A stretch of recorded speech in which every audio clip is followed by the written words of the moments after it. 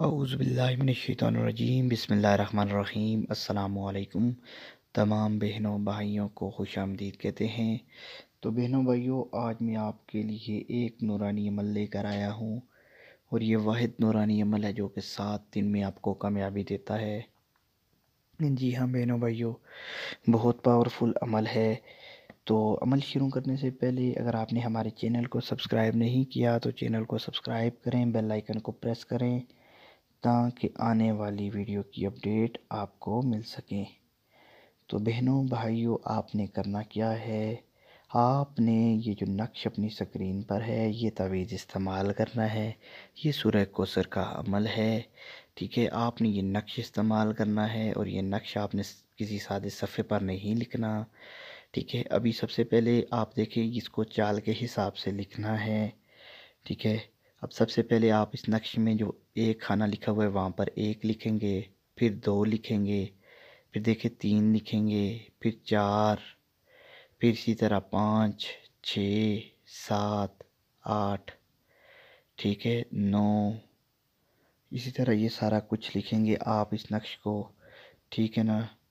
اس میں دس نہیں، دس لکھیں گے، پھر گیارہ، بارہ، تیرہ، چودہ پندرہ اور ایک خانہ بچ جاتا ہے۔ آخری جو سونا والا ہے، وہاں پر فلاں بن فلاں لکھا ہوا ہے، وہ سب سے آخر میں پر کرنا ہے۔ یہ پندرہ تک لکھ لیں ترتیب سے، پھر سولہویں میں آپ نے فلاں بن فلاں میں اس کا نام لکھنا ہے، جس سے آپ محبت کرتے ہیں۔ ٹھیک ہے؟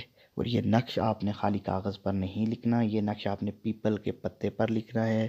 اب جب آپ فلاں بن فلاں کا نام لکھ دیں، پھر نیچے آئیں۔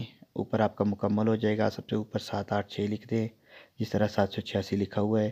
اب آپ نیچے آئیں، سب سے لکھیں الخب، پھر اپنی معشوقہ کا نام، اپنے محبوب کا نام جس سے آپ محبت کرتے ہیں۔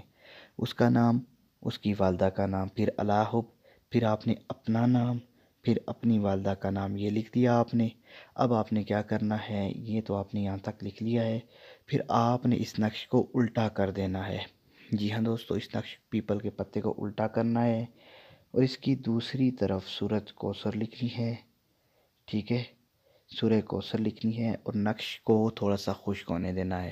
جب سورہ کوثر لکھے، ان نہ آتے ہی نقل کا اسر فصل ربی کا ونخر ان شانیہ کا حول ابتر یہ لکھ کر پھر اس کے نیچے لکھنا ہے الخب فلاں بن فلاں مطلب الحب فلاں بن فلاں مطلب الخب اپنی معشوقہ کا نام، اس کی والدہ کا نام الحب اپنا نام، اپنی والدہ کا نام سورہ کوثر کے آگے نیچے لکھ دینا ہے۔ یہ لکھ کر آپ نے اس پتے کو کیا کرنا ہے؟ کسی ندی میں، کسی کنویں میں، کسی نہر میں جہاں پر صاف پانی ہو، وہاں پر بہا دینا ہے۔ ٹھیک ہے؟ اور یہ نقش میں آپ نے دیکھنا ہے کہ آپ غلطی کوئی نہ کریں۔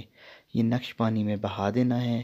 بس صرف سات دن کا انتظار کرنا ہے۔ سات دن میں اس صورت کے اس موکلات، ٹھیک ہے، اس نقش کے موکلات آپ کے محبوب کو آپ کے قدموں میں لا کر کھڑا کر دیں گے۔ سات دن کے اندر آپ کا محبوب آپ کے قدموں میں ہوگا۔